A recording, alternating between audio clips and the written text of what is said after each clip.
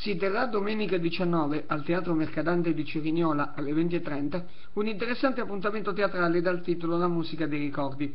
Organizzato dall'Associazione Amici della Musica di Foggia con il patrocinio comunale, è uno spettacolo che parla della magia musicale, capace di evocare immagini ed emozioni che rimangono nei nostri ricordi attraverso una storia d'amore fra un bambino e il suo pianoforte, con cui condividerà i segreti ed i sogni della vita. Ideato e diretto dall'attrice foggiana Irma Ciccone, che ha preparato un collage di teste poetici uniti in un mix di musiche insieme a Francesco Chiappinelli, verranno eseguite dall'orchestra Pietro Mascagni diretta da Raffaella Cardinale. Sul palco, oltre alla Ciccone, ci saranno Michela De Palma, Raffaella Montrano e Roberto Russo, con la partecipazione del soprano Ribalta Buffon.